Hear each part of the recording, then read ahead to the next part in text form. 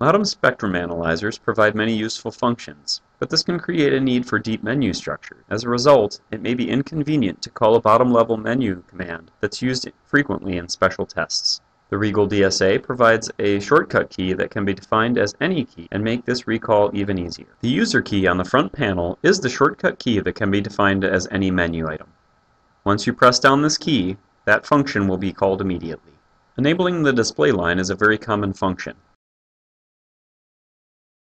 For example, in EMI testing, we can define a reference line that can be used to estimate the power measurement result in full frequency range.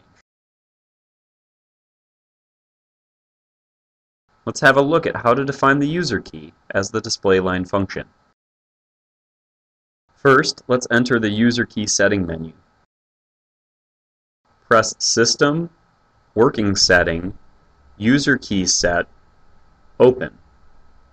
Then choose the destination menu Display Line by pressing System, Display, Display Line.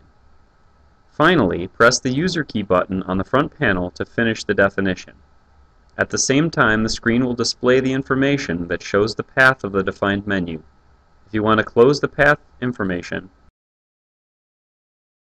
press System, Display, and User Key off to close. Now we have defined the user key as the display line function. You can link any menu item to the user key function. That is all for the user-defined shortcut key function of the DSA 815. Here are some key points. You can open the user key setting menu, select the destination menu, and then press the user key to finish the process definition. Press the user key again to recall that defined menu.